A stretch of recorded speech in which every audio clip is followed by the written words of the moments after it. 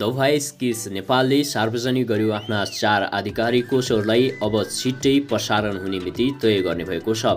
दशकविहीन पछिल्लो समय नेपालमा साङ्गीतिक रियालिटी सोहरूले धेरै दर्शकहरूको मन जितिरहेका छन्। सङ्गीत प्रेमी दर्शकहरूको लागि एउटा मनोरञ्जनको पाटो बनेको छ साङ्गीतिक रियालिटी सोहरू। त्यसैले द भोइस अफ नेपाल किसले पनि अब चाँडै आफ्ना नयाँ श्रृङ्खलाहरू प्रसारण गर्ने भएको छ। द भोइस अफ नेपाल किसले? योभन्दा पहिले दुईजना आधिकारिक कोषलाई the voice of Nepal season थ्रीको grand फिनालीमा सार्वजनिक गरेको थियो भने दुईजना बाँकी रहेका थिए। उक्त दुईजनालाई पनि भोइस अफ नेपाल किर्सले सार्वजनिक गरिसकेको छ। उक्त दुईजनामा रहेका छन् राजु लामा र मिलन अमाते दर्शकबिन अब पहिलेदेखि प्रसारण हुन्छ दसैँभन्दा अगाडि नै हामी नयाँ श्रृङ्खला हेर्न पाउँछौँ या पाउँदैनौँ। यसै विषयमा हामी तपाईँहरूलाई जानकारी दिनेछौँ। भिडियोलाई अन्त्यसम्म हेरेर साथ दिनुहोला र हाम्रो यस युट्युब च्यानलमा यदि तपाईँहरू नयाँ हुनुहुन्छ भने च्यानललाई सब्सक्राइब गर्नुहोला र यो सानो मेहनतको लागि भिडियोलाई एक लाइक गरी सक्दो सेयर गरेर धेरै सङ्गीत प्रेमी दर्शकहरू माझ पुर्याउन सहयोग गर्नुहोला।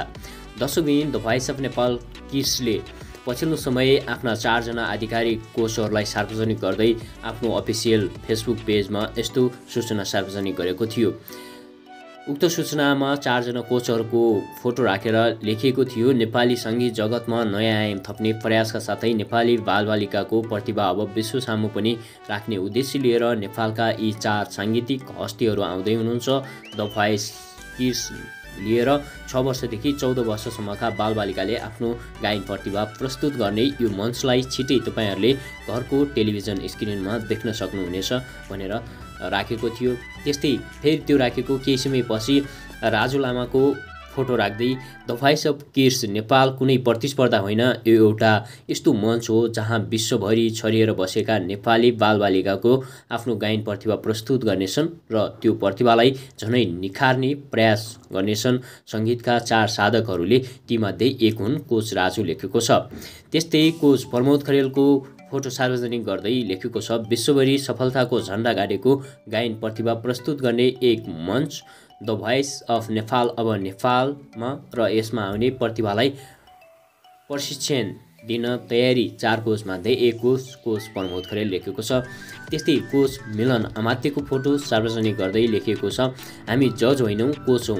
जसले तपाईँको गायकीलाई झनै निखार्ने प्रयास गर्नेछौँ कोच मिलन नेवार भनेर लेखिएको छ। त्यस्तै प्रविशा अधिकारीको भने द भोइस अफ नेपाल किड्सले कुनै पनि फोटो राखेको छैन र केही पनि लेखेको छैन। तर प्रविशा अधिकारी पनि द भोइस अफ नेपाल किड्सको कोच नै रहेकी छन्।